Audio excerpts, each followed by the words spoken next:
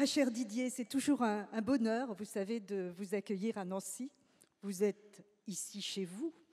Et je, je voudrais profiter de cette occasion qui m'est donnée pour euh, vous redire combien la fidélité et même l'affection de tous les académiciens Goncourt au livre sur la place nous touche toutes et tous ici.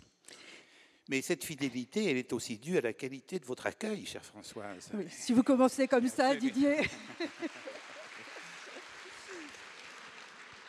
Alors la dernière fois que je vous ai reçu dans ces rencontres du livre sur la place, c'était en 2009.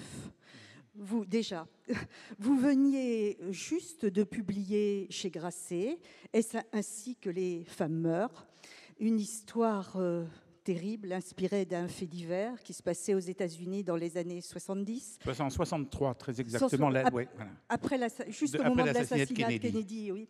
euh, l'assassinat donc euh, de Kitty Genovese, une petite américaine au pied d'un immeuble devant 38 témoins qui, derrière leurs fenêtres, avaient tous vu ou entendu et personne n'avait rien fait.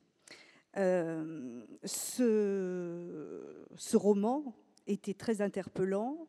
À ce moment-là, vous nous aviez dit qu'il allait être adapté pour le cinéma. Effectivement, il l'a été très, très vite par Sylvain Attal et Lucas Delvaux. Et vous, pendant ce temps-là, depuis 2009, vous avez publié un dictionnaire amoureux de la Bible, qui je sais vous tient très à cœur, votre merveilleuse anglaise à bicyclette, cette anglaise verte et poétique. Vous nous avez promené avec délice au cœur des jardins qui accompagnent votre vie.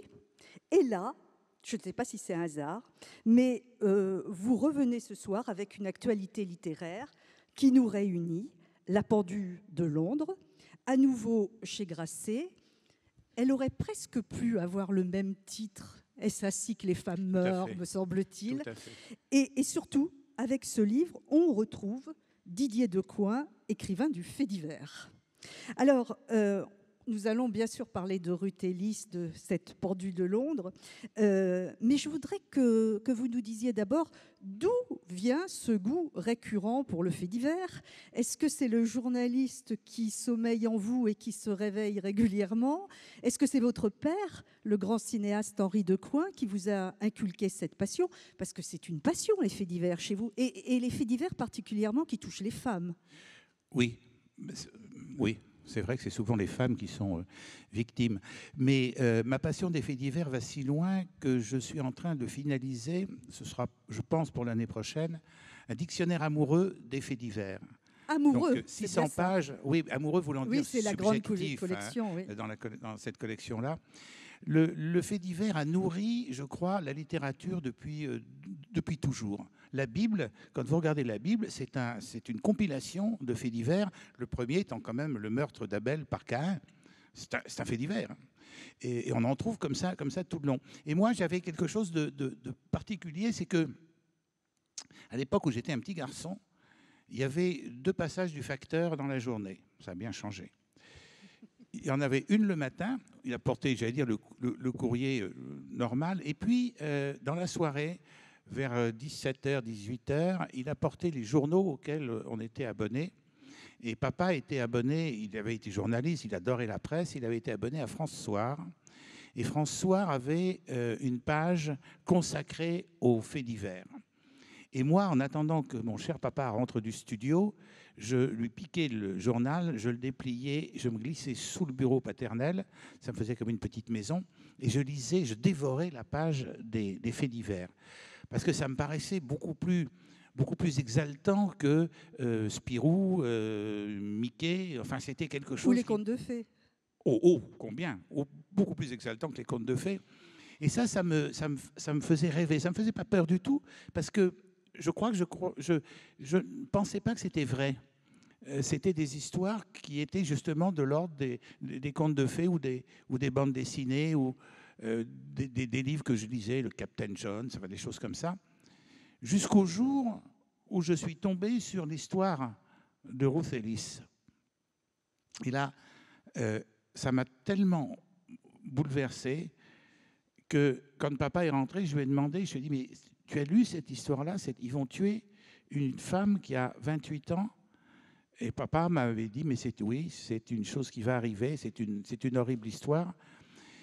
Et puis on avait commencé à parler des faits divers et m'avait dit que tout ce que je lisais, tout ce dont je me, nourrissais comme ça, était, c'était des histoires vraies. Et tout d'un coup, toute cette, galerie de, criminels et de, et de victimes, euh, dire, c'est comme si c'était levé d'une gang de boue, il s'était mis à exister euh, réellement. Ça a été ma découverte de ce monde-là.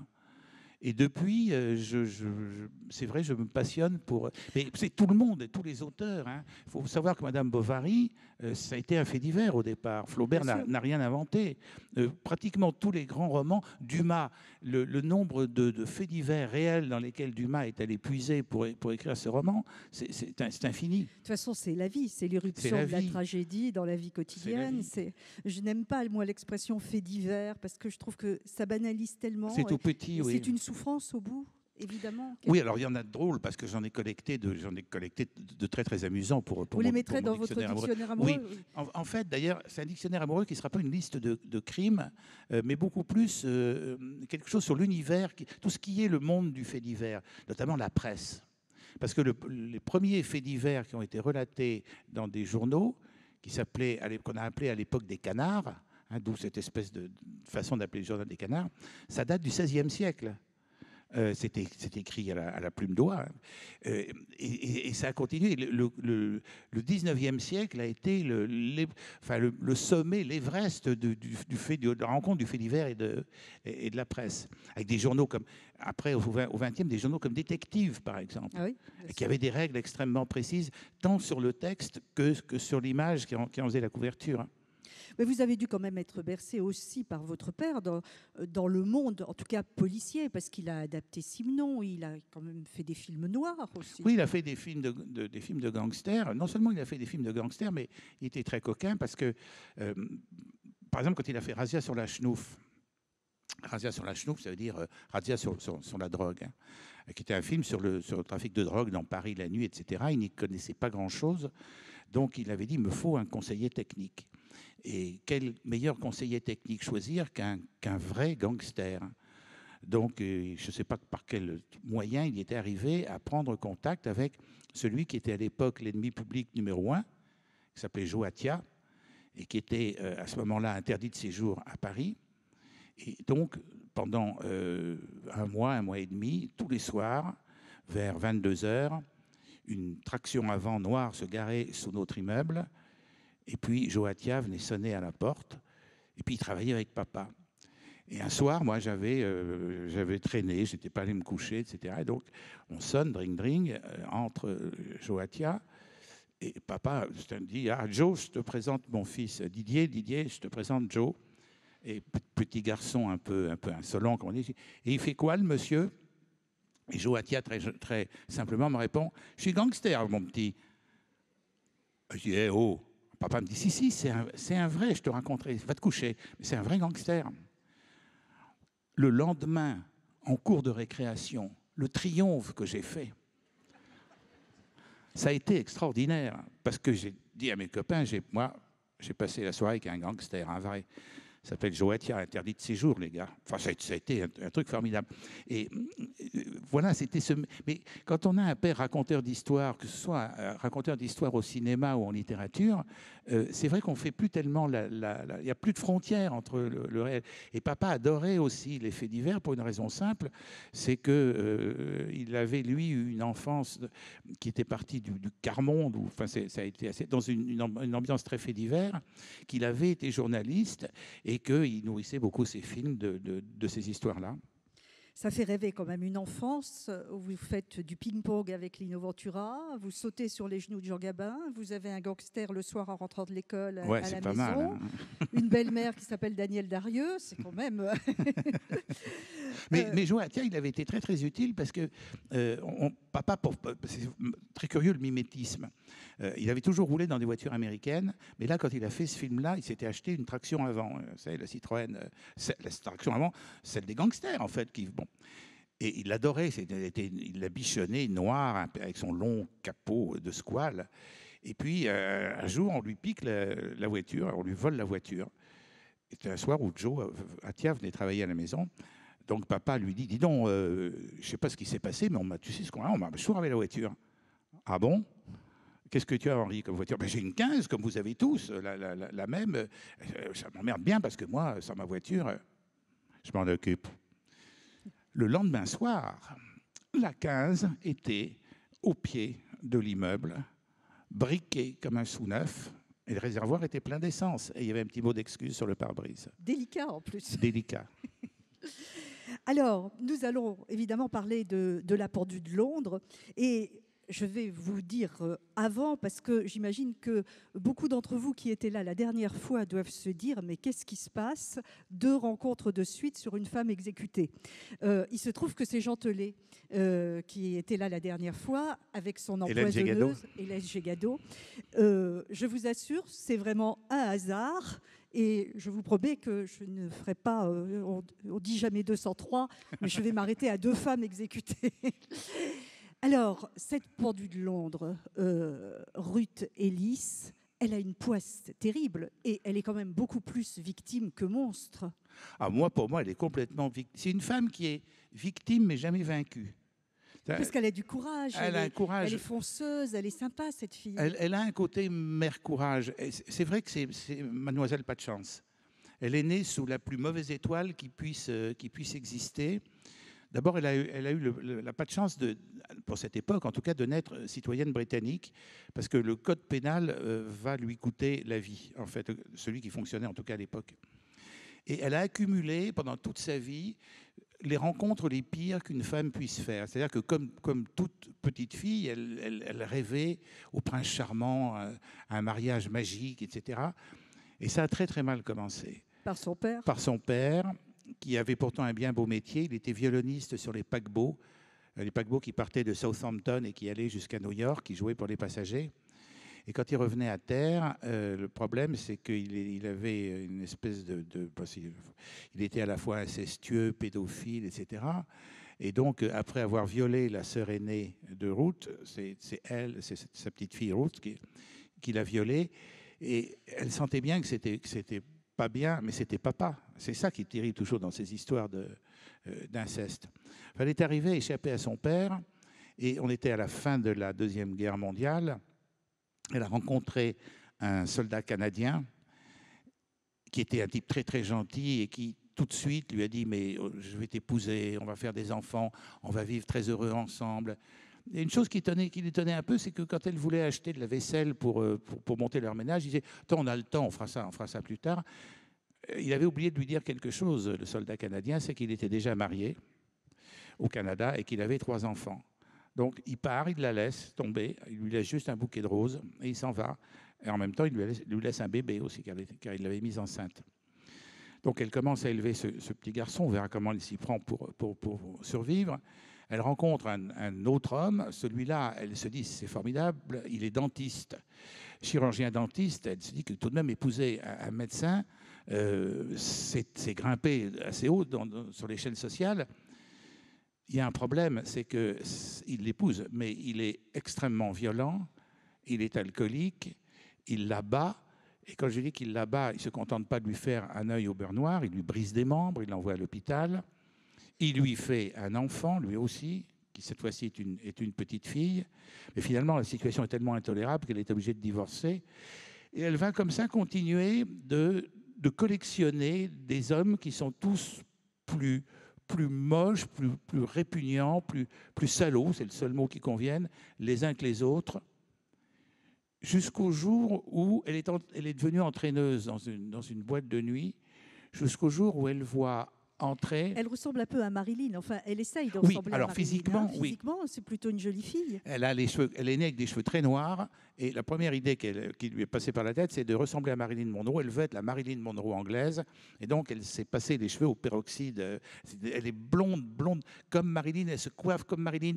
Elle se met le même rouge à lèvres rouge que, que, que Marilyn elle, ondule comme Marilyn. Enfin, elle veut être Marilyn Monroe. Il faut dire qu'elle est. Moi, elle n'a pas le visage de Marilyn, malheureusement. Euh, je ne trouve pas qu'elle soit si belle que ça, mais c'est par rapport à l'époque, elle était pas mal. Et c'est vrai qu'elle a un corps absolument admirable et que les hommes sont. Euh, plutôt baba devant, devant cette fille. En plus, elle est gentille.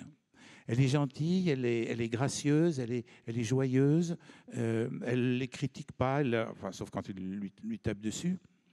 Et c'est et, donc, alors, elle rencontre ce, le dernier. Le dernier.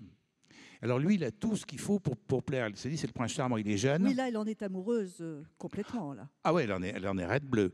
Il est jeune, il est riche, il est célèbre, il est, il est pilote de course, mais il court au Mans. Hein, c'est pas, euh, il, a, construit sa propre voiture de course.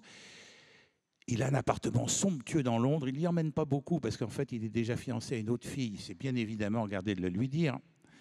Euh, mais elle se dit cette fois-ci j'ai tiré, le bon numéro et tout peut lui laisser penser qu'effectivement elle, va enfin être heureuse.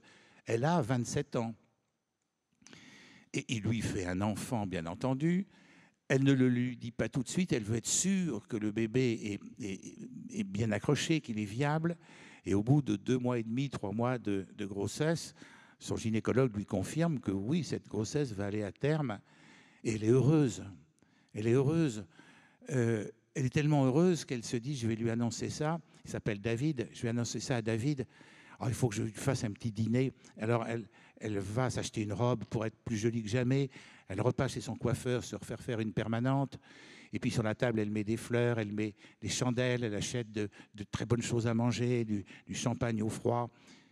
Et David euh, rentre, il voit la, la table bien décorée, il voit Ruth, qui est effectivement très joliment habillée, il lui dit on célèbre euh, quelque chose de particulier. Et elle, elle lui dit oui, David, tu sais, on célèbre la plus belle chose qui pouvait nous arriver. Parce que, mon amour, je suis enceinte de toi. J'attends un enfant de toi. Nous allons avoir un petit bébé. Et elle se dit qu'il va, qui va sourire. Et, effectivement, il écarte les bras et un sourire se, dessine sur son visage. Et elle se dit, il va venir vers moi, il va me prendre dans ses bras, il va me serrer contre lui. Et enfin, tout ce que j'ai vécu jusqu'à maintenant, je vais pouvoir l'envoyer. C'est fini, les cauchemars, c'est terminé. Je suis sorti de la tempête, le ciel est bleu. Et David vient vers elle, effectivement, les bras écartés et toujours le sourire sur, sur son visage. Et au bout de ses bras, comme chez tout être humain, il y a des mains. Mais ses mains se referment en poing. Et au lieu de serrer Ruth contre lui, il commence à la cogner au visage, à la poitrine, à coups de poing. Avec force, il est vigoureux. Tellement fort qu'elle s'écroule par terre. Et ça, il n'en reste pas là. Là, c'est avec ses pieds qu'il va la, massacrer, en visant bien évidemment euh, le ventre, l'endroit où le petit bébé, le futur petit bébé se trouve. Ironie euh, du sort, c'est là ce jour-là des chaussures qui sont un cadeau qu'elle lui avait fait. Et évidemment, elle va, elle va perdre ce, ce bébé. Et elle pense à ce moment-là que là, c'est trop. Elle a tout accepté jusque, jusque-là, des hommes. Elle a tout accepté. Elle leur a dit, leur a dit leur fait. Tu es un méchant, tu es un cruel, tu es un salaud. Mais elle a tout accepté. Mais là, là, elle peut plus. Je pense que n'importe quelle femme peut comprendre que, Ruth soit, ce soit un pont trop loin. Et elle décide qu'il faut effacer cet homme c'est pas le, elle pense pas le tuer, elle, veut que ça disparaisse, que ce que n'ait pas existé, une espèce d'énorme gomme qui va faire disparaître David et, tout ce qui lui a amené de désespérance. Mais évidemment, le seul moyen, la seule gomme qui existe, c'est c'est le, meurtre. il se trouve qu'elle a un ami qui est un ancien. Qui, a un rôle bizarre qui dans cette histoire. combien bizarre. Parce qu'il lui fournit un pistolet. Oui. Et finalement, il ne la défend même pas au moment de, euh, du procès. Il lui fournit le pistolet parce que lui voudrait bien, il est jaloux de David Blackley, et donc il voudrait s'en débarrasser, mais il est lâche aussi. Il n'a pas le courage, lui, de, de, de tuer. En fait, elle est tombée sur un cinquième homme qui, qui est pas mieux que les autres. Qui est une horreur. Et, donc, il, va lui donner le, revolver, qui est son arme de service qu'il avait pendant la guerre, qui est une arme très lourde. difficile à manier. Elle lui dit, mais qu'est-ce que tu veux que je fasse de ça? Mais peut-être un jour, qui sait, tu pourrais en avoir l'utilité, mais je ne sais pas m'en servir, je ne sais pas tirer avec ça. Je vais t'apprendre, il lui dit. Il l'emmène dans un, dans un bois, à les environs de Londres. Et pendant un après-midi, il lui apprend à tirer sur les troncs d'arbres, etc. Et quand il est certain qu'elle sait manier ce lourd, c'est un P38, le revolver, il le met dans son sac à main, il dit voilà, si un jour tu, tu en as besoin. Et c'est quatre jours après qu'elle va euh, sortir le revolver du sac et, s'en servir pour aller, pour aller tuer David. Pour que vous ayez dans, dans l'histoire que vous racontez. D'abord, on sent le cinéaste, là, parce que quand vous parlez, on voit les images. Moi aussi, je les voyais. Oui. Euh, vous avez travaillé sur quoi? Sur les minutes du procès? Sur la presse de l'époque? Euh? Alors, j'ai eu beaucoup de chance, Françoise, parce que c'est une histoire relativement récente. Et la presse euh, s'en était emparée. L'affaire de, de, de, la pendaison de Ruth Ellis du meurtre et de son exécution a créé un buzz monumental dans le monde. Dans le monde, le, pape a tenté d'intervenir pour qu'on ne la pende pas. Euh, la reine d'Angleterre, qui, qui, était à ce moment-là toute jeune, Elisabeth II, euh, a voulu sauver Ruth, lui accorder sa grâce, mais la reine d'Angleterre règne et ne gouverne pas.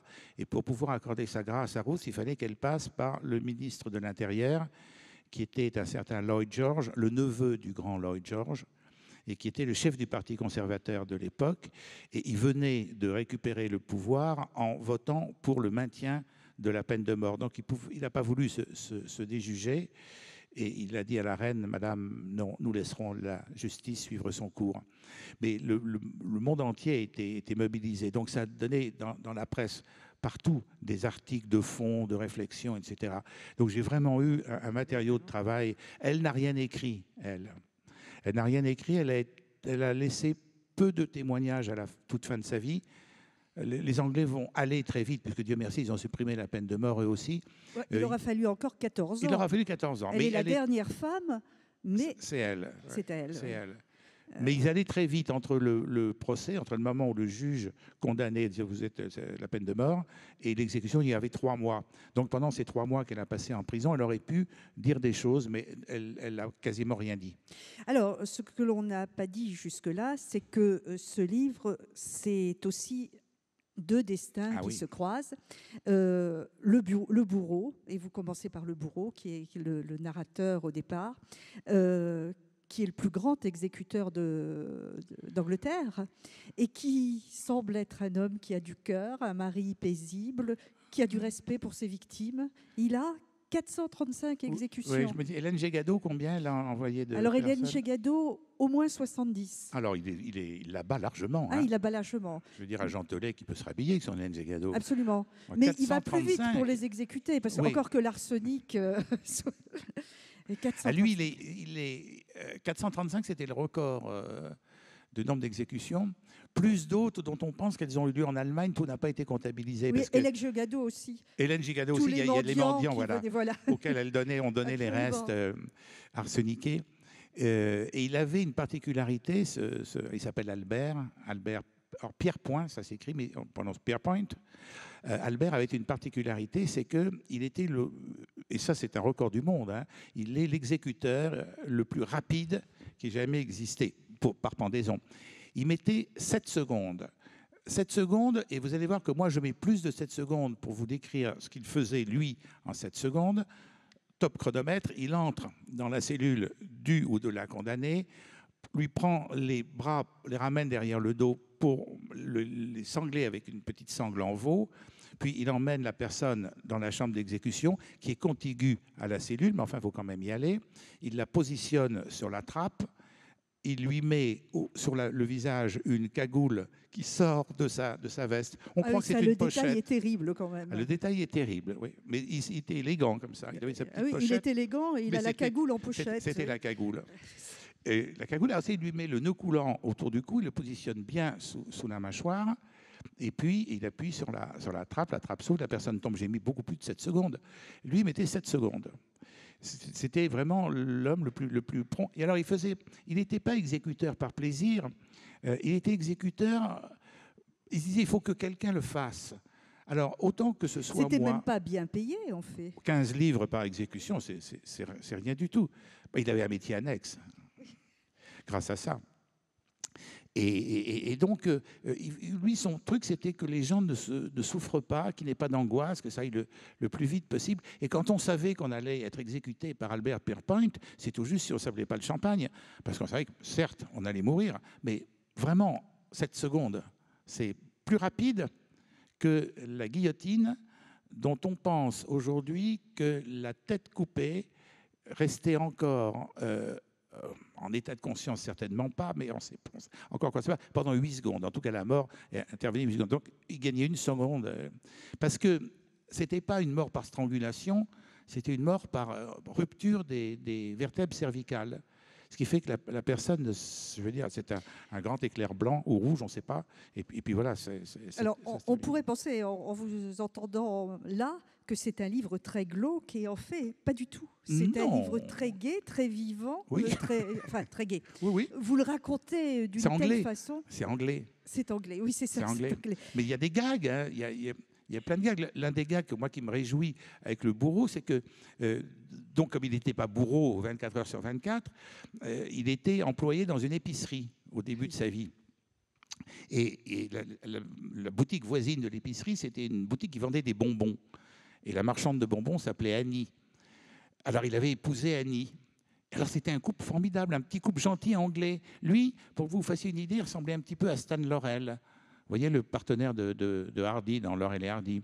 Et elle, c'était la petite anglaise typique avec son, petit chignon, euh, euh, des, yeux de faïence, euh, Annie. Et il ne lui avait pas dit qu'il était, qu'il était bourreau. On Alors, peut le comprendre. Hein. Bah, on, le comprend, on le comprend, mais, mais de temps en temps, il fallait qu'il aille au fin fond de l'Angleterre exécuter quelqu'un, et ça lui prenait plus que la journée, donc il ne pouvait pas rentrer le soir. Alors il disait, Annie, tu sais, à l'épicerie, nous, c'est incroyable, hein, on a raté notre, dernière commande, on manque de bacon. Alors, il y en a dans le, dans le Cheshire, je vais aller en chercher dans le Cheshire, mais là, je ne pourrais pas rentrer demain. Je rentrerai peut-être qu'à la tombée de la nuit, mais je te rapporterai une tranche. D'ailleurs, il manquait jamais de lui rapporter une tranche de ce qu'il était supposé être allé chercher. Et tout ça a très très bien fonctionné, et Annie euh, a avalé ça comme euh, jusqu'au jour où s'est produit euh, l'improbable on est encore une fois tout de suite après la guerre, Voilà, il y a eu les procès de Nuremberg, etc., et des condamnations à mort parmi des bourreaux nazis. Et le maréchal Montgomery euh, a voulu que les exécutions qui avaient lieu en Allemagne soient faites à la perfection, et il a demandé à ce qu'on fasse venir euh, Pierrepoint. Il a mis un avion à sa disposition, et Pierrepoint est donc allé en Allemagne pendre 13 dans un premier temps, en fait, il, finira par en prendre une centaine, mais par pendre 13 euh, dignitaires nazis parmi les plus, féroces, les plus, euh, odieux, les, les, plus monstrueux. Parmi ces 13, là, il y a notamment trois femmes. Et il exécute ça à, la perfection, comme d'habitude. Et il y a un photographe qui est là. Il y a un photographe. Et quand il rentre en Angleterre, toujours avec l'avion euh, du maréchal Montgomery, il rentre chez lui, c'est le soir, Annie, la marchande de bonbons, sa femme, est en train de préparer le dîner. Alors elle gratte des radis ou je ne sais pas quoi sur l'évier. Il l'embrasse et il la serre contre lui. Il dit Me voilà rentré, ma chérie, me voilà rentré. Et à ce moment-là, sa tête se tourne et il aperçoit sur la table de la cuisine, ô horreur, un journal qui est, je crois, l'Evening Standard, sur, lequel, à la une, il y a sa photo à lui, avec en, surtitre Le Vengeur. Le bourreau euh, Pierrepoint a vengé l'Angleterre en pendant, etc. Donc ça, c'est fini. Annie le sait. Alors il est, il est terriblement. finalement, elle a peut-être toujours su. Elle a toujours su. Il lui dit Mais je suis désolé, Mais Albert, je l'ai toujours su. Mais pourquoi tu n'as rien dit? Mais je ne voulais pas t'embarrasser. Vous voyez, c'est un couple tout à fait charmant. Et ils vont après l'épicerie et, les bonbons euh, ils, vont acheter, enfin acheter, euh, se faire confier la gestion d'un pub parce que euh, Albert se dit que dans le fond, étant le plus grand exécuteur de tous les temps, les gens vont venir boire de la bière chez lui parce que ça va les amuser. Puis ils vont lui poser des questions et pendant qu'il pose des questions, lui, il, verse des pannes de bière. Et alors effectivement, il y avait, foule pour venir boire de la bière chez, Albert et Annie. Mais d'ailleurs, il racontait rien sur les exécutions capitales, mais les gens venaient quand même par, curiosité. Et il a fait des chiffres d'affaires formidables. Alors, euh, pour la première fois, en exécutant Ruth Ellis, il a eu l'impression d'être un tueur et il est devenu abolitionniste après. Il a arrêté son métier et il est devenu abolitionniste. Oui, complètement. C'est ce qui m'intéressait aussi beaucoup, c'était l'évolution de cet homme qui, au départ, est persuadé que ce qu'il fait, pendre des gens qui ont été condamnés par la justice, c'est un devoir. Il faut que quelqu'un le fasse, c'est lui qui le fait, mais c'est quelque chose de, entre guillemets, de bien, de juste en tout cas. Et puis il va prendre conscience que ça ne sert à rien, que la peine de mort euh, n'a aucune exemplarité, qu'elle est cruelle, pas simplement la, la, pendaison, mais que le principe de supprimer la vie de quelqu'un est, tout simplement intolérable. il va devenir un, abolitionniste convaincu. Ça ne changera pas grand-chose, que vous l'avez signalé, ils vont mettre 14 ans quand même à abolir définitivement la peine de mort, mais il, va prendre beaucoup d'importance et, faire rayonner des mouvements abolitionnistes euh, importants. Et je trouve ça, je trouve ça très, très beau de voir le cheminement d'un homme qui, parce que moi je suis un abolitionniste convaincu et j'espère convaincant. Et, Oui, d'ailleurs, vous, vous, êtes déjà intéressé à des femmes condamnées à mort. Oui, oui. Dans Madame Seyerling, euh, vous avez été à côté de Béatrice euh, Saubin. tout à fait, quand elle était condamnée à mort. Elle, c'était une vraie, c'était pas un personnage de roman, oui. Euh, oui, c'était pas. Est-ce que finalement, quand vous écrivez comme ça ses destins, c'est avec derrière l'envie de passer un message euh, l'abolition de la peine de mort pour ça, dans Est-ce ainsi que les femmes meurent, l'indifférence qui est quand même le fléau de notre société. Est-ce que c'est d'abord le destin qui vous intéresse ou, est-ce que c'est de, de mettre le doigt sur, euh, sur des causes qui vous tiennent à cœur? Je pense qu'il y a un petit peu, il y a un petit peu des deux. La, la première attraction, elle est, elle est pour l'être humain, pour le personnage euh, dont je vais raconter l'histoire, mais il se trouve que je préfère quand il vit dans une ambiance qui correspond à ce qui, moi, me, touche, parce que je me sens... Il m'est plus facile de, parler euh, de la peine de mort que de l'élevage des vers à soie euh, dans les hauts plateaux himalayens. Parce que je connais, connais vraiment ça rien. peut être intéressant. Ça peut être hein. passionnant. Ça peut être passionnant. Quoi que ça donne des papillons hideux, les vers à soie. Enfin, ça donne de la jolie soie, mais le papillon du, ver à soie, c'est une horreur. Euh, enfin, moi, j'aime pas les papillons de nuit, et celui-là, il est gris. Euh, mais euh, la peine de mort aussi. Enfin, bref. non, mais c'est quelque chose qui, me tracasse depuis, depuis, toujours, ça. C'est mon dada. On dit qu'on enfourche des dadas. Moi, je ne descends pas dans la rue. C'est pas facile de me faire descendre dans la rue. Il n'y a pas beaucoup de causes. Mais celle-là, oui. La peine de mort, oui. Je continue d'avoir, euh, j'allais dire, ma petite action militante, qui est toute petite, hein, qui est, qui est d'entretenir des, relations épistolaires avec des, des, gens qui sont dans le couloir de la mort euh, euh, aux États-Unis, ce qui n'est pas facile, ah ni pour eux, ni pour moi. Pour eux, c'est difficile parce qu'il il y a un moment où approche le. ils, savent la date. Hein, quand ils reçoivent le petit papier jaune qui leur indique que vous serez exécuté tel jour, Évidemment, euh, il leur reste quoi, des fois un mois, euh, un mois à vivre. L'espérance du téléphone du gouverneur qui va sonner, elle est, elle, est toute petite. Et les derniers échanges qu'on peut avoir dans ces cas-là, c'est pas évident. C'est pas évident. Euh, si vous le faites d'ailleurs, parce que on demande souvent comme ça, ils demandent des correspondants. évidemment, il faut être capable de, de comprendre un peu de l'anglais et puis d'écrire en anglais. Mais sachez que c'est un engagement qui est très dur parce qu'il faut aller jusqu'au bout. Il ne s'agit pas de les lâcher au milieu, de les abandonner au milieu, du guet. Et puis un jour, ces gens avec qui vous avez correspondu pendant 5 ans, 6 ans, ben, ils ne sont plus là, ils n'existent plus. Ils ont été, euh, paf, l'injection létale et tout. Mais oui, moi, je ne supporte pas, je supporte pas la, peine de mort. Je pense que les États-Unis finiront par l'abolir. L'année dernière, il y a eu 44 exécutions capitales aux États-Unis, mais il y en a eu 4000 en Chine. il, y a encore, il y a encore pour les abolitionnistes, on a encore du, pain sur la planche, euh, parce que c'est fini en France, mais ça continue ailleurs, et le monde est un grand village. Bien sûr. Euh, alors, les, derniers mots sur Eutélis, et puis on, va aller vers euh, euh, peut-être un domaine un peu plus léger et que vous aimez beaucoup, ce sont les jardins. Euh, ce livre, finalement, ça fait 58 ans que Ruth Ellis vous a, euh, vous a suivi un peu dans votre vie. Pourquoi vous n'avez pas eu envie d'écrire sur elle avant? Alors ça, c'est très simple. j'ai bien sûr eu envie et, j'ai presque failli commencer à écrire sur elle, mais c'est un, roman aujourd'hui, puisque ça se présente comme un roman, c'est une histoire vraie, mais avec les outils du romanesque. Il faut que vous ayez un conflit entre, entre X et Y, entre deux personnes. Et je n'avais pas de, hormis David, je n'avais pas vraiment euh, d'adversaire jusqu'au jour où j'ai trouvé Pierpoint. Le jour où j'ai je savais bien qu'un bourreau l'avait exécuté, mais je ne connaissais pas la vie d'Albert Pierpoint.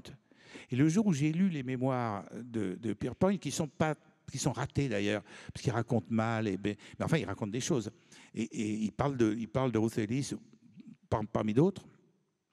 Le jour où j'ai lu ça, je me suis dit, mais je l'ai, mon, mon, mon, compétiteur, enfin celui qui est, qui est en face d'elle. Euh, je vais consacrer un chapitre au bourreau, un chapitre à la victime.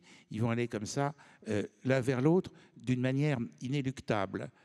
J'ai été très, toujours euh, fasciné par l'histoire de ce soir à Samarcande. Vous savez, ce, serviteur du grand vizir qui va faire le marché. Et sur le marché, il voit, la mort est là, qu'elle aussi fait son marché. Alors il rentre chez son maître et il lui dit, grand vizir, permets-moi ce soir de, quitter cette ville euh, parce que la mort est ici. Et elle m'a regardé. Et le grand vizir lui dit, mais bien sûr, va-t'en, où veux-tu aller? Oh, je vais aller le plus loin possible, je vais aller à Samarcande. Au moins là, là, je serai tranquille. Donc il prend un cheval, il arrive à Samarcande, et la première personne qu'il voit à Samarcande, c'est la mort. La mort qu'il regarde et qui lui dit Ah je m'étonnais ce matin quand je t'ai vu sur le marché. Je me suis dit, qu'est-ce qu'il fout là? J'ai rendez-vous ce soir avec lui à Samarcande. C'est une terrible histoire. C'est l'histoire du, fatum, c'est l'histoire du destin, de l'inéluctable. Euh, Pierpoint, ce que nous n'avons pas dit, avait juré, après avoir exécuté une des femmes euh, nazies euh, en Allemagne, il avait été bouleversé, elle avait 21 ans, il avait juré qu'il n'exécutait, enfin, c'était juré de ne plus exécuter de femmes. Et inéluctablement, il va vers, euh, vers euh, Ruth Ellis. Quant à Ruth Ellis, elle, s'était promise une vie merveilleuse et à chaque fois qu'elle aurait un obstacle, de le surmonter, etc. Et inéluctablement, elle va, elle va vers la mort. Et c'est un petit côté samarcande.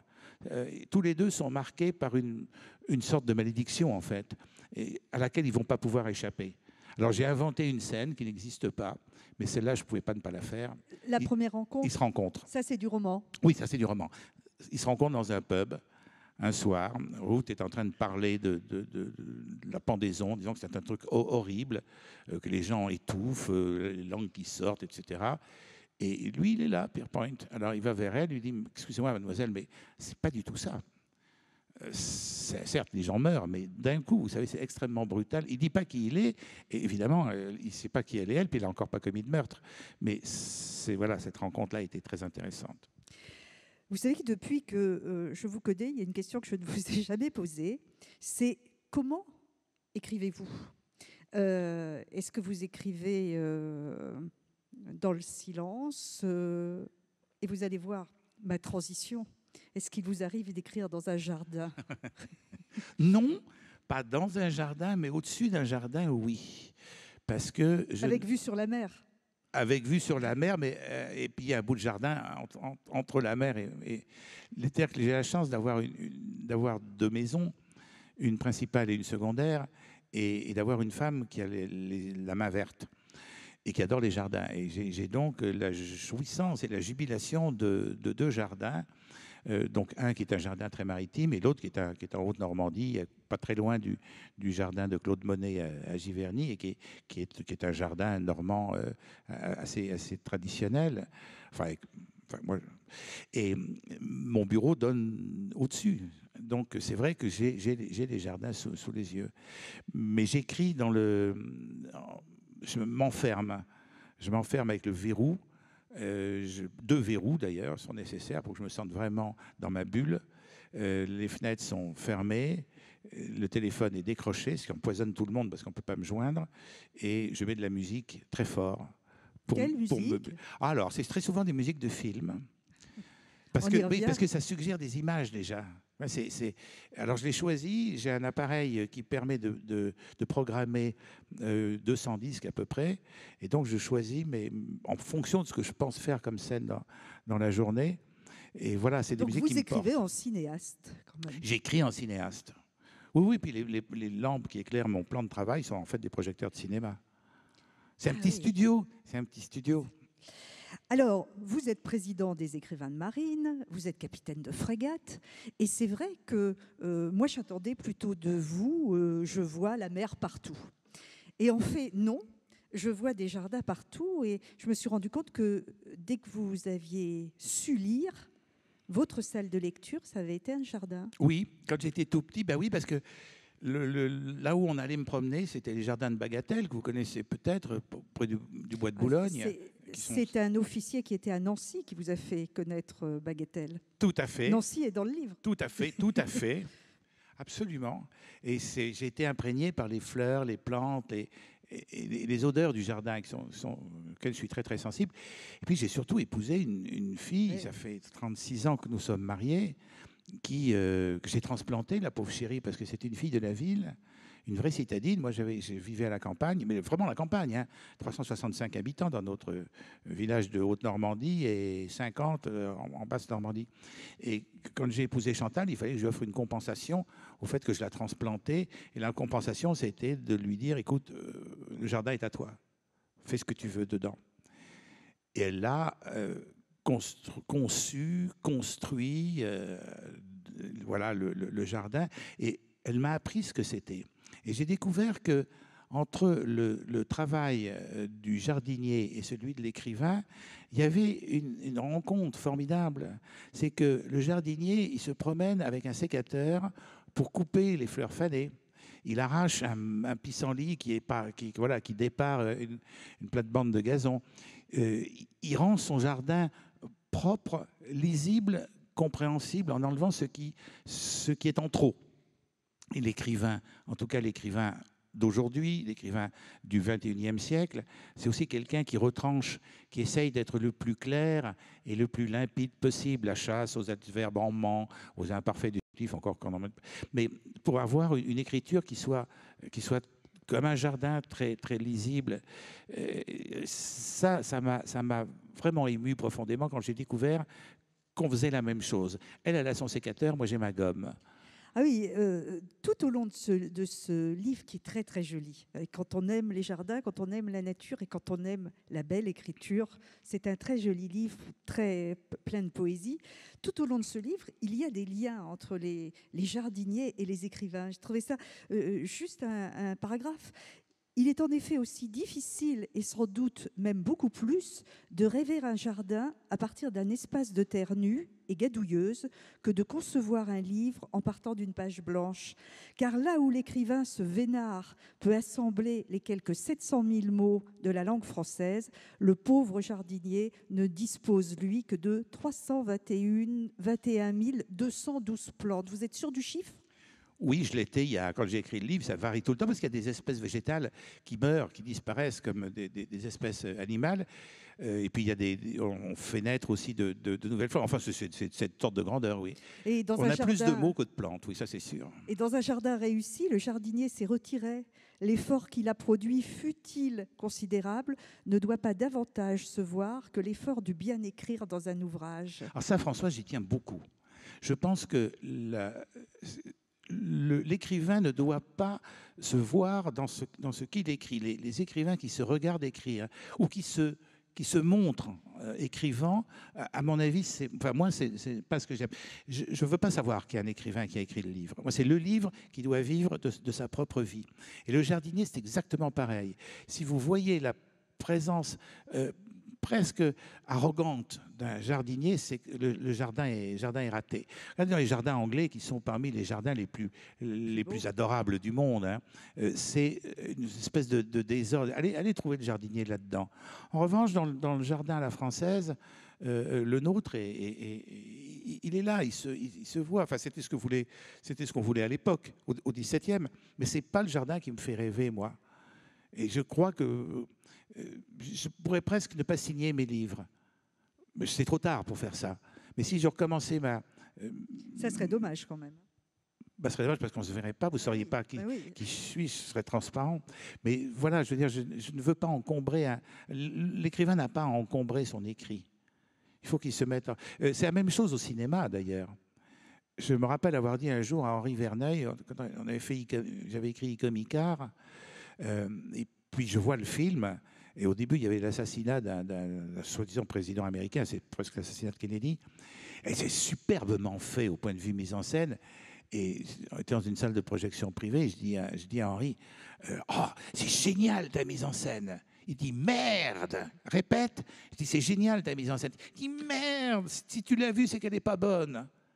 Et c'est vrai. Si vous voyez le mouvement d'appareil, c'est que vous êtes plus vous avez vu le mouvement d'appareil et pas le film et pas le personnage et pas l'histoire. Et ça il faut faire attention à ce côté. Je vais vous en, vous en mettre plein la vue. Non il faut être il faut être modeste modeste modeste modeste quel que soit le métier qu'on fait d'ailleurs hein. mais essentiellement c'est métiers artistiques un mot sur Kawabata. Avec vous pas de rencontre sans que l'on en parle quand même un petit peu. Il vous a fait découvrir les chrysanthèmes? Oh, Il m'a fait découvrir, Kawabata m'a fait découvrir le Japon euh, et surtout l'écriture transparente. Euh, c'est pour ça, c'est la transparence qui continue. Que, que Nourrici a appelé l'écriture maigre. Euh, mais, je, je, préfère dire transparente. Kawabata est probablement l'écrivain qui a le plus gommé. Son jardin, si jamais il en a eu un, je ne crois pas.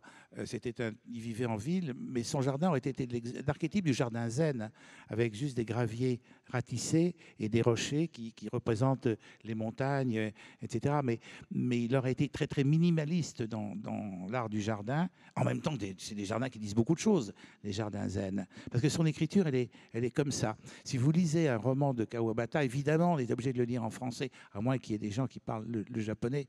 En tout cas, c'est malheureusement pas mon cas. Euh, donc je l'ai je l'ai lu en français, Kawabata, mais c'est sublime de, de simplicité. Mais c'est comme la cérémonie du thé. Enfin, je veux dire, c'est voilà, ce sont des, des, postures qui sont. Quel est le livre de Kawabata que vous préférez? Les Belles Endormies. Les Belles Endormies. Après, ce serait Le Lac, qui est une très jolie histoire et qui, qui est racontée. Il y a à la fin un ballet de Luciole sur un lac. C'était waouh. Euh, mais Les Belles Endormies, c'est une, en plus, c'est une histoire qui, qui, philosophiquement est belle. Euh, ce sont des, dans une maison au bord de la mer, maison aux volets rouges, qui donne sur la mer, mais les volets sont toujours fermés. On ne fait qu'entendre le bruit de la mer. Des vieillards viennent, des hommes, viennent le soir et payent très cher pour dormir à côté d'une très jeune fille. Une très jeune fille qui a été anesthésiée, donc qui dort, et que le vieillard n'a pas le droit de toucher. La seule chose qu'il puisse toucher, le maximum de ce qu'il peut toucher, sont les lèvres et peut-être parfois un petit peu les gencives. Mais c'est tout. Et bien sûr, il, respecte scrupuleusement ce règlement, sinon il serait, il serait jamais plus, il ne pourrait revenir dans la maison des belles endormies. Euh, voilà, c'est ce qu'il il y aura un tout petit meurtre à un moment, mais c'est pas important. C'est ce que c'est ce que raconte. Euh, non, c'est vrai. Fait divers. C'est alors il y a eu des éditions, il y en a sans arrêt des éditions des Belles Endormies qui sont toutes plus belles les unes que les autres. Euh, moi, c'est un livre qui me fait rêver. J'ai un portrait de Kawabata qui est au-dessus de mon épaule. Et quand je sèche, ce qui m'arrive souvent quand même, je me retourne et j'écoute Yasunari, parce qu'il s'appelait Yasunari de son prénom. Je dis Yasunari, fais quelque chose, aide-moi. Alors, il ne répond pas, évidemment, euh, mais j'ai un moyen de l'obliger à répondre. Je prends un livre de lui, j'en ai, aussi plein autour de moi, j'ouvre au hasard et trois, quatre pages me, me, me relancent, me redonnent une furia, une furie, une envie d'écrire tenace et je me remets au boulot. Et quand vous vous promenez dans un jardin, qui n'est pas un acte banal, je l'ai compris pour vous, est-ce que c'est un lieu où vous réfléchissez à l'écriture?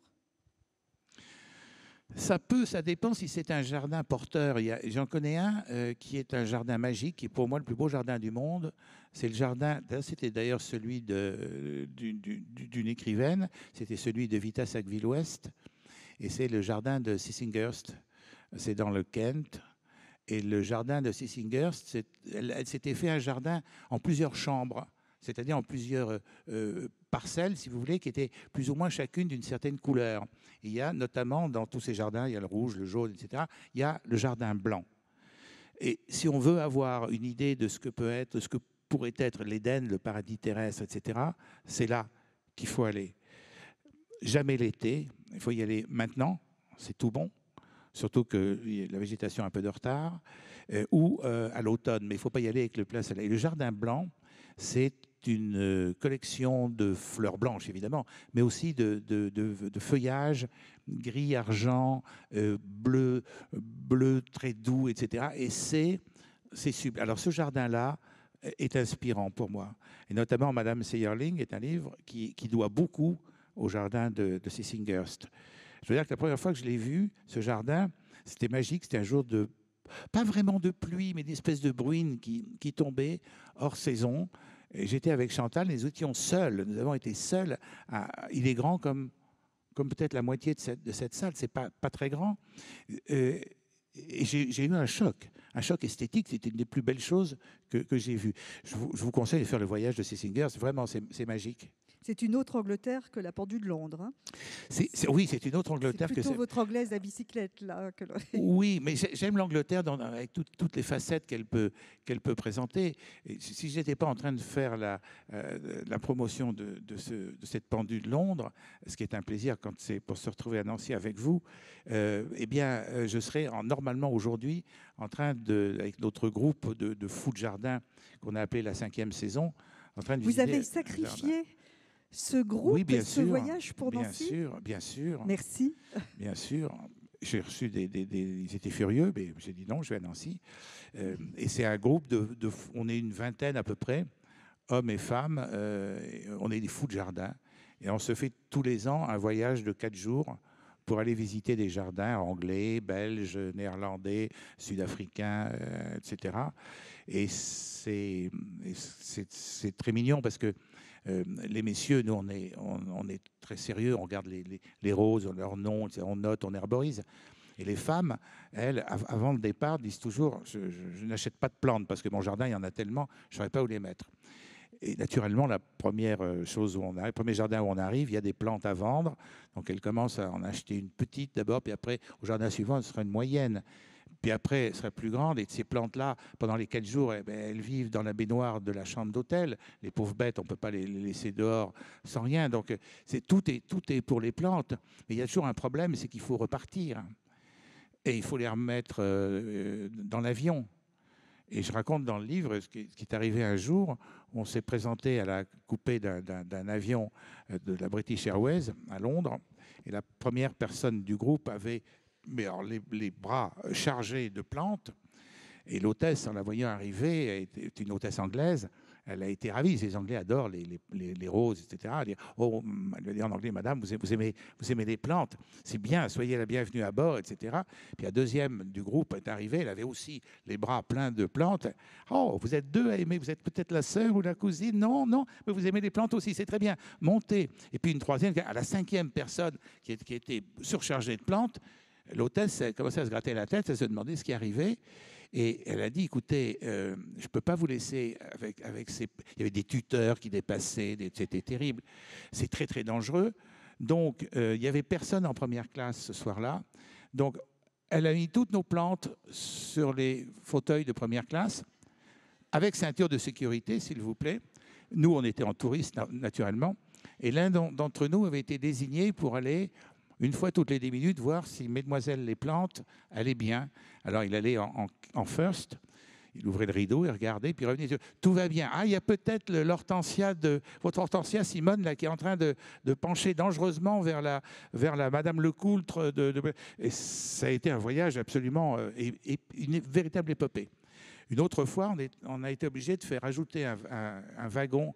Euh, on, on, voyageait par train. On a été obligé de faire ajouter un wagon pour mettre nos plantes. C'est véridique? Ah, C'est véridique. Alors, rien de ce que je dis dans ce livre n'est faux. Tout est vrai. Simplement, je, l'ai dit avec la bonne humeur qui caractérise ce groupe, parce que c'est vrai que euh, on s'amuse, on s'amuse follement, mais il nous est arrivé des trucs insensés. le, dernier en date, dans un jardin un peu en déshérence, qui était un peu, un peu abandonné. Mais euh, on voyait l'ancien dessin du jardin, donc c'était très très intéressant de voir comment il avait été autrefois. Et on aperçoit dans un euh, massif de ronces des petits éclats rouges au fond. Alors, on soulève les ronces prudemment pour voir ce que c'est. On dirait bien que c'est des fraises des bois. Ah on mangerait bien une fraise des bois. La personne a dire ah non, c'est pas une fraise des bois, c'est une fleur. Ça. Qu'est-ce que c'est que cette oui, de la grosseur d'une fraise des bois Qu'est-ce que c'est que cette petite fleur? Et on a une grande spécialiste qui s'appelle Francia Tauvin, qui est une des grandes spécialistes françaises des roses, qui fait partie du groupe, qui dit mais mes enfants, c'est une rose. Mais ce que est mignonne, la petite choute, toute rouge. C'est vrai qu'on dirait une petite fraise des bois. Oh, je ne la reconnais pas? J'ai jamais vu des roses comme ça. Ben, c'est à personne, c'est sous les ronces. Elle dit Allez hop, je l'emporte, je vois ce que ça va donner. Elle l'emmène chez elle et nous dit dès qu'il sera éclos, dès que les roses seront, parce que c'était des petits boutons, dès que les roses seront, seront sorties, je vous enverrai des photos. Vous verrez, ça doit être mignon. Trois mois se passent, toujours pas de photos. Alors on l'appelle Francia, mais alors pourquoi Qu'est-ce qui se passe avec les roses? C'est incroyable, ça ne veut pas éclore. Je commence à pas. Non, non, ça reste à l'état de bouton. Six mois, un an, un an et demi, toujours pas, toujours pas toujours reste, à l'état de bouton. C'est un rosier, on ne sait pas, mutant, euh, bizarre, etc., qui ne fleurit pas. Il fait des grappes de petits boutons qui sont donc comme des fraises des bois. Donc on a baptisé très officiellement à Versailles, en présence de Baraton, d'Alain Baraton, le rosier, on l'appelait fraise des bois. Euh, et il est en vente chez Francia Tauvin. C'est un tel triomphe, ce rosier, qui ne fait pas de fleurs, que euh, la première année, la deuxième année, elle a, été, elle a été en rupture de stock et c'est très très difficile de s'en procurer. Mais c'est adorable comme truc. Qu'est-ce que c'est? Personne n'en sait rien. Quand vous viendrez à Nancy pour le livre sur la place, je vous apporterai des fraises des bois. Éventuellement, et je vous emmènerai au jardin botanique. Ah oui. Parce que vous ne le connaissez pas. Et non, mais de pas possible de continuer comme ça. Non. Avec joie. Alors, je comprends maintenant pourquoi vous dites que le dernier mot du jardin, c'est l'éternité. Oui, et, en même temps, euh, et en même temps, bah, c'est l'éternité parce que ça se reproduit. C'est-à-dire que j'aurais dû dire que le dernier mot du jardin, c'est Pâques, parce que le jardin revit tous les ans. D'ailleurs, à une période qui est pas loin d'être la période de Pâques, et c'est très, très émouvant de voir l'hiver. Euh, moi, j'ai ça sous les yeux tout le temps. Il, ne reste rien que de la terre euh, noire, gris-noir, pas si belle que ça à voir une herbe qui est, qui est morne, qui est maussade, sèche, euh, pas de fleurs, très peu de feuillage, a des buis, mais bon, sinon il n'y a rien. Et tout d'un coup, en une nuit, mais c'est vraiment, à chaque fois je me dis, je vais, je vais surprendre le jardin, mais j'y arrive pas. Parce qu'il est toujours en avance. En une nuit, il se met à sortir des trucs absolument. L'herbe change de couleur, des fleurs apparaissent, des feuilles, etc. La résurrection du jardin tous les ans est quelque chose de pour moi, qui relève vraiment de la mystique. C'est quelque chose de... C'est la résurrection. C'est vraiment une image de la résurrection. Et en même temps, c'est tellement fragile. Vous voyez, j'ai vu des, jardins dont les propriétaires étaient, étaient morts et les jardins, euh, même repris par quelqu'un d'autre, n'avaient plus la même... Euh, ne correspondait plus à ce que celui qui les avait créés avait voulu en faire, sauf encore une fois celui de Vita Sackville-Ouest à Sissinghurst. Alors, je ne sais pas ce que le Goncourt doit à votre jardin, euh, près de La Hague, mais euh, c'est à l'académicien Goncourt, maintenant, en conclusion de, cette rencontre, que je voudrais m'adresser. La rentrée littéraire commence à arriver. J'imagine que les piles de livres euh, vous parviennent aussi. Ça doit être assez émouvant de se dire en voyant euh, plusieurs centaines de livres quand même qu'au milieu, il y a le Goncourt. C'est un moment formidable parce que moi j'ai un, un, truc, comme je me méfie de, je veux pas les choisir en fonction de la notoriété de l'auteur ou au contraire du fait que je ne le connais pas du tout ou qu'un titre me plaît plus qu'un autre. Donc ce que je fais, c'est que je les mets. Ils arrivent là pour l'instant dans la résidence principale. Avec Chantal, on les met dans des valises, euh, éditeur par éditeur. C'est comme pour les, c'est le seul classement. Et puis quand on arrive euh, là-haut dans la Hague, dans ma petite maison de pêcheur, je les éparpille, mais vraiment au sens propre du mot, je les éparpille sur le sol de mon bureau. Et euh, pour atteindre mon bureau, il faut, que je les enlève les uns, après les autres. Donc euh, j'en prends un ou deux tous les, tous les matins, vraiment au hasard, comme tel que ça se présente. Et quand, quand le premier éparpillement, je me dis, il est là-dedans. Non seulement le Goncourt est là-dedans, mais on n'est pas le seul prix littéraire, mais les vrais livres qui vont passionner les lecteurs à la rentrée, disons... Il y a un trésor. Oui, il y a 10-15 titres. Hein. Et c'est voilà, c'est un, un, trésor qui est encore sous forme, dans sa gangue, encore parce qu'on ne sait pas ce qu'il y a dedans. Et, c'est un, moment magique. Et quand on tombe sur le, euh, quand je crois tomber sur le, le, Goncourt, ce qui, c'est, euh, je me rappelle surtout pour Singé Sabour, le livre d'Atik Raimi, Singé Sabour, Pierre de Patience, c'était un 8 juillet. J'ai voilà, saisi ce livre tout à fait au hasard. J'ai trouvé qu'il avait un titre bizarroïde. Euh, l'auteur, je ne le connaissais pas. Et puis, je l'ai lu. J'ai dû mettre, je sais pas, une heure et demie ou peut-être deux heures à, lire ça. Et quand j'ai fermé le livre, j'étais d'abord bouleversé par ce que je venais de lire, mais j'étais convaincu que c'était un sommet. Et donc, j'ai c'est Chantal qui me dit que j'ai été. Là, vous avez pris votre téléphone, vous avez ah, appelé ah, D'abord, j'ai couru comme, un, comme, un, comme un lapin du Racel dans, dans, la maison, montant les escaliers, descendant les escaliers. J'ai le Goncourt, j'ai le Goncourt, j'ai le Goncourt, j'ai le Goncourt. Et Chantal m'a dit Tu l'as déjà eu en 77. Je dis Non, mais c'est pas ça. C'est pas que j'ai le prix. J'ai le livre qui va avoir le Goncourt. Et j'ai effectivement décroché mon téléphone et j'ai appelé les copains et les copines en leur disant Attendez, je viens de tomber sur un truc. Alors, c'est pas facile, je vous ai appelé, ça s'appelle Singé Sabot. Alors, S, Y, N, G. Quoi? Mais attends, qu'est-ce que c'est que ce truc? C'est un chef-d'œuvre. C'est tout simplement un chef-d'œuvre. Lisez-le tout, à fait cessante. Effectivement, il a eu, il a eu le concours. J'ai le même, euh, le même enthousiasme, peut-être quand même petit peu moins pour euh, les bienveillantes de, de, Little. Euh, voilà, de temps en temps, j'ai des, je m'enflamme pour des. Et ça, ça c'est formidable. Et vous faites tous la même chose Vous vous téléphonez quand vous Oui, on communique un, beaucoup. coup de cœur? On communique beaucoup. Euh, c'est Pivot qui a commencé parce que, comme tout le monde sait, Pivot est geek. Pivot ah tweet, il gazouille. et, et, alors donc, et il gazouille bien. Il gazouille bien. Il gazouille bien, il nous gazouille. Vous savez que Twitter, le matin, a une odeur de pain grillé grâce au tweet de Pivot. il est très drôle, il est mignon. Euh, il a dit on devrait se parler plus qu'on le fait. donc maintenant, euh, pour ceux, il y en a que trois d'entre nous qui n'ont pas deux, qui n'ont pas d'internet. Sinon, ça crépite. Alors on s'envoie sans arrêt des messages. C'est formidable parce que euh, il y a un vrai partage des, des engouements et, ou, des déceptions parfois, parce qu'on peut tomber sur un livre auquel on, on, avait, on s'était dit tiens, il sort un livre là pour la rentrée, ça va être bien, il ou elle, et puis on, peut être un peu désappointé, un peu déçu. Mais oui, on communique beaucoup entre nous. Et c'est ce qui fait que ça, sert bien, le, club est bien solidaire. Alors, vous accueillez une nouvelle académicienne Paul Constant. Paul Constant, qui sera là. elle travaille bien. Hein. Elle travaille bien, vous êtes content d'elle. Vous êtes content de Philippe Claudel aussi? Waouh bah, Bien sûr, mais moi, Philippe, moi, je voulais qu'il ait, qu'il ait le concours pour les âmes grises. Ah oui, je vous en ai ah. beaucoup voulu hein, ah, cette année-là. mais je ne suis pas toute seule, tout Nancy vous en a voulu. Mais en plus, c'était le centenaire de l'Académie oui, Goncourt, mais à un Lorrain, ça avait tellement d'allure. Ben oui, mais je n'ai pas été suivi, euh, euh, mais, mais, il était pas tant. Philippe était pas tant. D'abord, c'est un garçon délicieux. Puis c'était l'ami, euh, comment c'est l'ami de Jean-Marc Roberts, donc voilà, c'est un frère. Vous avez, vous avez, évidemment lu le petit livre en hommage à Jean-Marc Roberts que Philippe bien sûr, Jean-Marc, dans lequel il dit que c'est pour Jean-Marc Roberts qu'il a accepté de devenir académicien. Oui, oui, je pense que je pense que c'est assez vrai parce que c'est crevant, hein. C'est crevant. Puis vous n'êtes pas payé Non, c'est totalement bénévole et, euh, on lit, on lit beaucoup de livres, on en rend compte. Ça veut dire qu'on fait des rapports de lecture pour nous, pour se rappeler au moins de ce qu'on a dit. Et puis il n'y a pas que le Goncourt, euh, il n'y a pas que le roman, il y a le Goncourt de la biographie qu'on décerne à Nancy, qui est le plus lourd à lire. C'est gros les bio. Vous, vous l'avez attribué la semaine dernière, donc vous le remettrez le, 14 septembre à Nancy. Et c'est Jean Renoir. Oui. Alors j'imagine que Philippe et, vous avez dû soutenir le, cinéaste. Oui, vous mais on a, ça n'a pas été si difficile que ça. Euh, ça c'est plutôt. Bon, c'était, c'est un peu, un peu empoigné, mais tout bien passé. Depuis le début, il faisait un peu la course en tête, Renoir.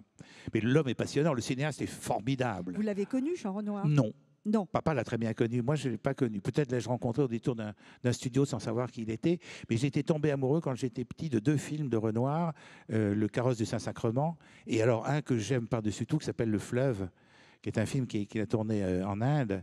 Euh, je trouve un, film absolument magnifique. dont Philippe est, un, est un, un, élément épatant. Il travaille épaule. Alors, euh, vous savez, le principe, c'est quand on a un petit nouveau, euh, il bisue. Donc, on le, voilà, il y a du bisutage. Et le bisutage, ça consiste à faire les voyages.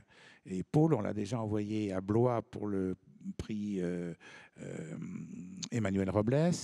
On l'a envoyé en Serbie pour le, jury serbe qui est en liaison avec nous. On l'a fait voyager.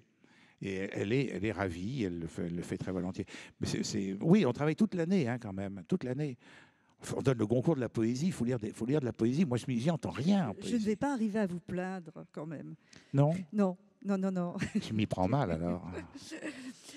alors, euh, on a parlé du livre sur la place et euh, je vais vous pardonner le fait que vous vouliez prendre le TGV euh, dans une heure pour rentrer à Paris, puisque vous serez là en septembre. Donc, vous dédicacerez jusqu'à 20h, mais j'ai promis de vous libérer quand même vers 19h15. Donc, je regarde le petit réveil et, je vais vous laisser aller dédicacer. Donc, nous nous retrouvons en septembre au moment du, livre sur la place. Euh, je ne vous soumets pas au questionnaire, au questionnaire, de Proust, puisque, de Pivot, pardon, puisque vous avez déjà répondu à ces questions-là. Simplement quelques éléments de, notre 35e édition euh, qui, qui, auront, qui, aura lieu du 13 au 15 septembre, sous réserve bien sûr, parce qu'on est en juin, il peut toujours y avoir des, des changements.